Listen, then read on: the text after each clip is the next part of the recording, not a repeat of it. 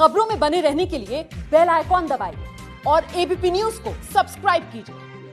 Good morning आप देख रहे हैं नमस्ते भारत और आज नमस्ते भारत यानी मॉर्निंग प्राइम टाइम का नंबर वन शो बिल्कुल अलग अलग अंदाज में लेकर हाजिर हैं हम तीनों। साथ आपके मैं हूँ कुमकुम बिनवार नमस्ते भारत न्यूज़ रूम से मैं हूँ प्रतिमा मिश्रा। दिन की तमाम बड़ी खबरें अगले आधे घंटे में मैं आपको न्यूज़ रूम से दूँगी। अमेरिका ने भी एक बार फिर पाकिस्तान को आईना दिखा दिया है।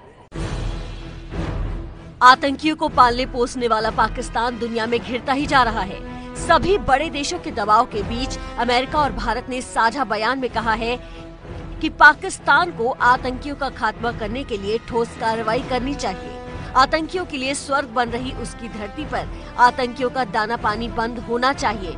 जो आतंकियों का समर्थन देते रहे हैं, उनकी भी जवाबदेही तय होनी चाहिए।